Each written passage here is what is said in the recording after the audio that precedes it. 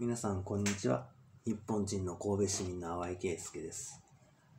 本日2023年の7月25日。えー、今回は、えー短い内容にしておきます。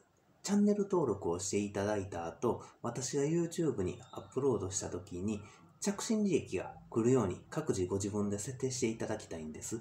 それと、ホームページ、淡井圭介の履歴の一番を見ていただきたいんです。それで、文章も記載しているので、プラスで後から付け加えたりとかしてるので、それ見てもらわなかったらやっぱり無理です。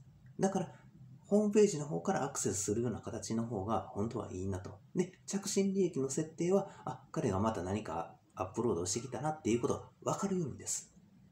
僕もあの番号を取っ払ったりしますから、前の方の表示、いや、長すぎるんですよ。だから後ろに、例えば1番、2番、3番、4番、5番、6番、7番、8番、9番、10番ってこういうふうな形で飼育、11、12とか、まあそういうふうな、えー形です、基本は。